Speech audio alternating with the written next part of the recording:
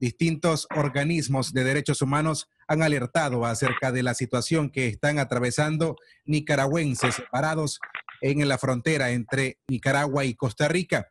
Para ello, a continuación vamos a hablar con el abogado Yader Valdivia, miembro del colectivo de derechos humanos en Nicaragua Nunca Más, organismo que reside en Costa Rica y de quienes sus participantes o integrantes son en su mayoría nicaragüenses. Yader, te saludamos, buenas tardes, y bienvenido. Hola, ¿qué tal? Buenas tardes, este, muchas gracias por la invitación y un saludo también a todos los oyentes de Radio Darío que también creo que nos están viendo por sus redes sociales.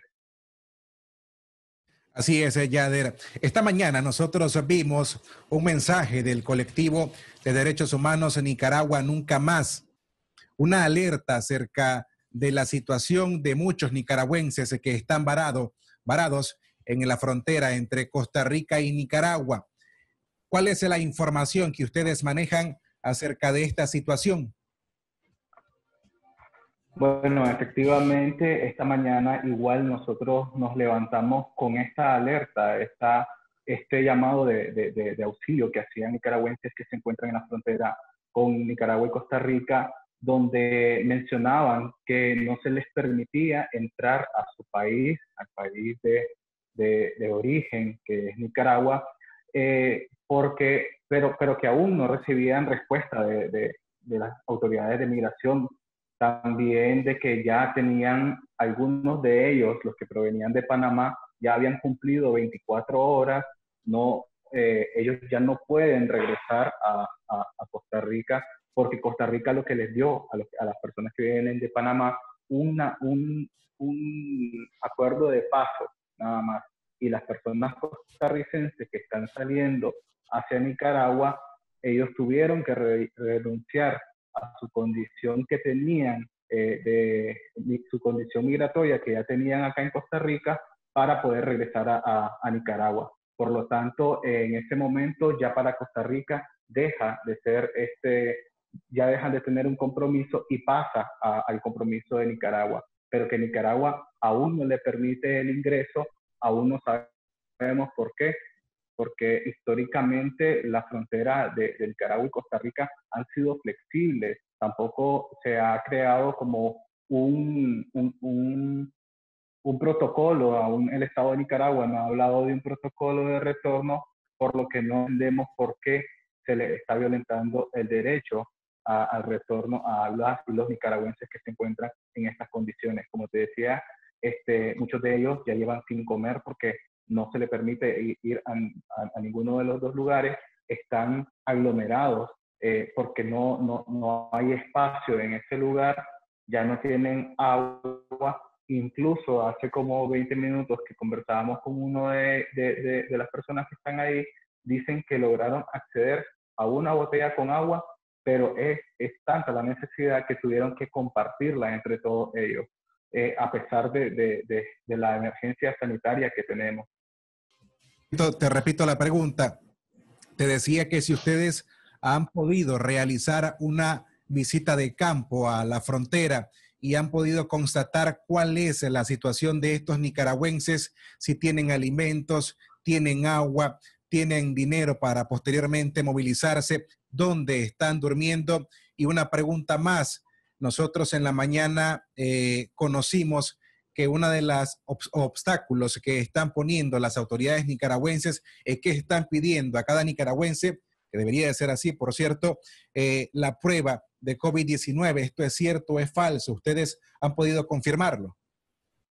Sí, efectivamente, eh, los ciudadanos han manifestado de que se han acercado autoridades de migración de Nicaragua y que les han dicho que deben de presentar la prueba del COVID que tiene que salir este, negativa, ¿verdad? Esto también lo han expresado. No sé qué, qué harían si un caso sería positivo, si, si tendrían que, que, negarle la entrada o espero que sea para intervenir también este, médicamente, pero que sí, muchos de ellos ya cuentan también con, con, con esta prueba que de una u otra manera lograron realizarla porque al parecer su, su, su en su traslado pensaron en, hacerla, pero tomando en cuenta que eh, según la, la, constitución política y tampoco que se ha llevado una, una iniciativa a la Asamblea, no se ha puesto como condición una prueba de este tipo o tampoco hay referencia este, para, para el ingreso de los nicaragüenses. Sí, eh, una última pregunta. Tenemos eh, un minuto para concluir, Yader. Yo me refería a que si ustedes han podido ir a la zona, han constatado cuál es la situación de los nicaragüenses en cuanto a alimentación, eh, dinero, bebidas, ¿han podido hacer esto?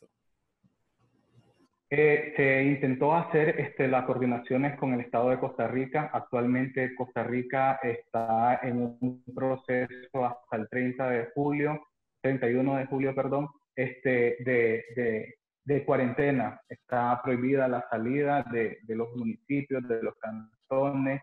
Eh, para coordinar esto se ha tenido que hacer gestiones que, que esto pues deben de, tardan un poco pues por, por, por procedimiento, pero aunque nosotros lleguemos al punto, se nos haría imposible porque este, ya están en territorio nicaragüense, están en la, en la mera este, línea, pero están en un rincón, los tienen aglomerados a todos y, y, el nosotros poder cruzar a, para, para el lado nicaragüense tendríamos que igual renunciar a nuestro estatus migratorio que tenemos por acá a Costa Rica. Te agradecemos, Yader, por estos minutos que nos has ofrecido para la audiencia de Radio Darío, para conocer un poco sobre la situación que están viviendo los nicaragüenses varados en la frontera entre Costa Rica y Nicaragua, que intentan retornar al país, pero que aún no logran hacerlo. Te agradecemos. Bueno, gracias.